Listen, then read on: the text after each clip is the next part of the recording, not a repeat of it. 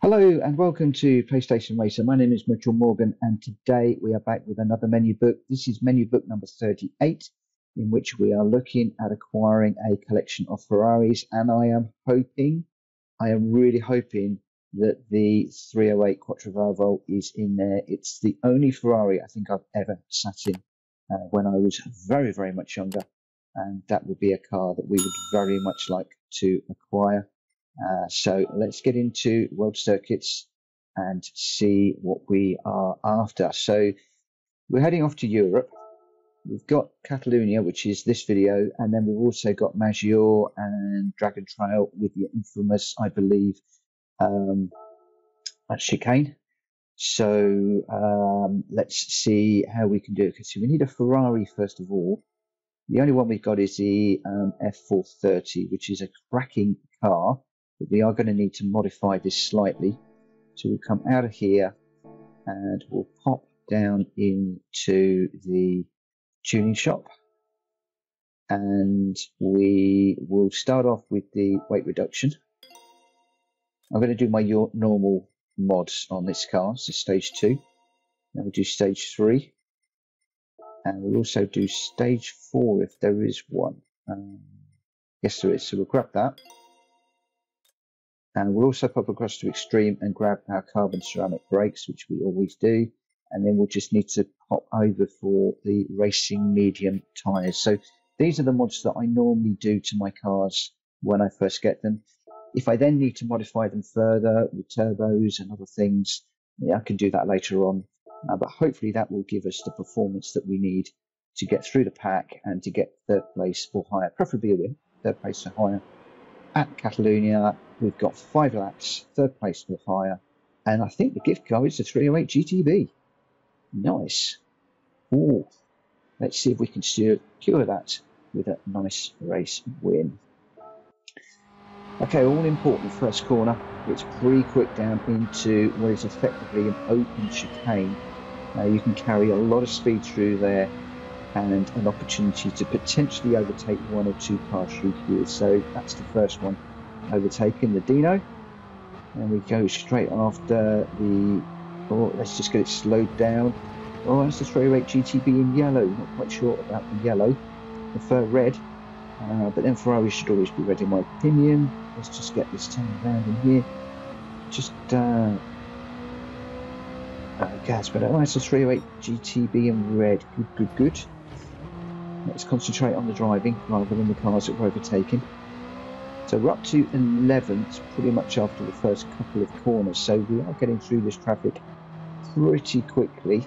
Going to go around, uh, not around the outside, it's got the inside switch. Is that just a rotor? Yes, it is. Iconic car from the uh, from the early 90s. Okay, so gear through here, over the curb, over this curb. Just carry some more speed down through here. This is a corner that you can be really brave on, but if you're not careful, you wind up on the gravel off the track. So just need to be, oh, this is posing up on me. Oh, two wheels on the grass, just about managed to get that. Can we get it slowed down? We got a bit deep because we were on the grass there. I think we've managed to make that stick. That was a bit hard in mouth. We go around the outside of this one. Was that the one that Magnum used to drive? I can't remember. Anyway, let's get back to driving. So third gear, second gear turning on this one over the curb. Quick run up to third, down into second for this corner. Again, taking loads of curb, being careful of the little sausage. And then we will go around the outside of this one. And as we come around for the end of lap one, we've got ourselves up to fifth place, 16 seconds away from the leader. So whilst we're overtaking some of these slower cars, there are some quick cars up ahead. How can you say a Ferrari is slow? Um, that's a uh, that's a wrong choice of words. Uh, but we are going to need to get the get our boot down, get moving to see if we can catch up with the first place. So third place is about six seconds ahead of us at the moment. So we're just trying to keep the power on through here. We're going to need to be brave through some of these corners. See if we can close up under braking, get good exits. That's better. Oh, a bit of a wobble on the way out. Down into third and it's second for this corner. taking loads of curb, a little bit too much. Getting up into third as quick as you can, up into fourth, coming through the gears fifth. Then we slowed down to third. Do, do third through here. Just being careful. We want to try and keep a clean race. We're going to go to the inside of this one. Take a load of curb across here. Leaving it in third and see if we can get a clean overtake on this one before we get into the next corner. Going for the inside, so that's first place up ahead. We seem to caught up with these cars really, really quickly, much, much quicker than I had expected. So it's third over here, third, second, uh, second through here. Up into third, fourth, down two gears into second. We're just tucking behind this F12. We'll tuck in behind him for this corner too. So second gear, see if we can get a good run out of this corner. No slide this time, that's good. We go, oh. And I thought he was going to slide out to the left a bit there, so just tucked in behind, but loads of time. No need to be silly at this stage. This is only lap three of five. Uh, so we've effectively, he's still there, isn't he? Just watching the radar for the moment. So we've got, this is only lap three of five. So we've effectively got three laps left. All I've got to do now is keep this on the black stuff facing the right direction. Could this be the one race where we don't swap ends? I want to try and build up a bit of a cushion to the car behind just in case I do lose the back end of this car. It shouldn't really because there's no tyre wear on it. That was a bit, that was grotty. Went in there, felt it was too deep and broke heavily during the mid part of the corner. Third through there, third through here, to fourth as quick as we can. We come down two gears to turn in. No, I'm getting a bit braver. Normally I do that, or have been doing that in second, but I am managing to be a bit brave and doing that in third gear now. I was wavering just before we turned into that corner. This one is a definite second, especially when we go that deep. Left my braking a bit too late. Not quite got my braking points for this Ferrari. You can see on the mileometer how many miles this has done. Probably not very many. We just negotiate around these corners. Come through here, second, just watching the sausage. Sometimes I get wheel up on it, sometimes I don't. Same with here. Just so this car has done uh, just coming up for 10 miles. So as you can tell, it's just a car that I'm not used to driving. And um, not quite got the braking points yet but this is an opportunity to really put some distance between me and the car behind. He's just over 10 seconds behind at the moment. Oh, I've gone too deep. Trying to be a little bit too eager to get some distance. And we ended up taking it off of the track, which is not clever. Uh, you can get away with it through there. Uh, I'm not sure how this Ferrari will how this Ferrari will run those sausages but that's just blatant cheating. I really don't want to do that. So we're coming up for 13 seconds, I think that was, so second gear, turning in. Letting it run. Third, fourth, up to fifth, climbing through the gears quickly. Down into third for this this time. We're going to stick with third through here. That's better, building up to fourth. Got a fourth much quicker there. Down into third. Sticking the third through here now. This is better. This is feeling better. Got a much better exit.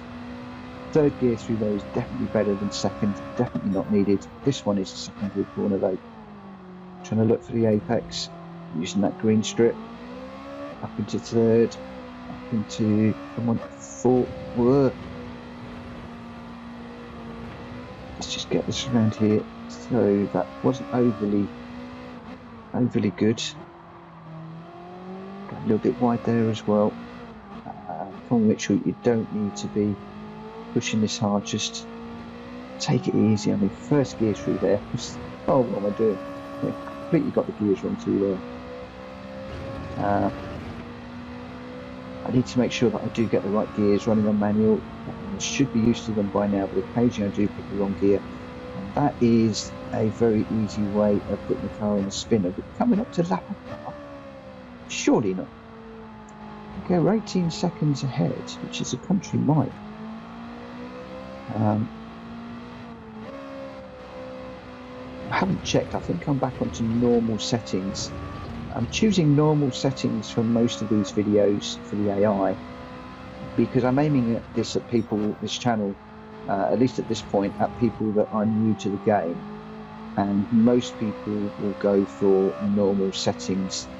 Uh, but really, this far ahead, we really want to be looking at hard settings, uh, which are the settings that I do normally run on. I did drop down to an easy for one race, and I did a video a little while ago uh, about the difference between easy and normal. And easy was so much easier. Uh, to step up from normal to hard, it is a step up, but I don't think it's quite as big. So those of you that are pushing on with normal, if you're getting through the traffic like I am, just get this slowed down through here. If you're pushing on like I am, it's nice to run away. It's nice to be overtaking back markers. But you know, that's not really the challenge. The challenge is to have a good race where you're vying for first, second, or third. And with these menu books, it really doesn't matter if you come in third, you still get the rewards. So, I, my advice would be to step up to hard as soon as you possibly can. Uh, it's also good to be on hard if you're going to be racing against real people because the step up from hard to real people is a massive step. Um, real people are so unpredictable, unlike the AI.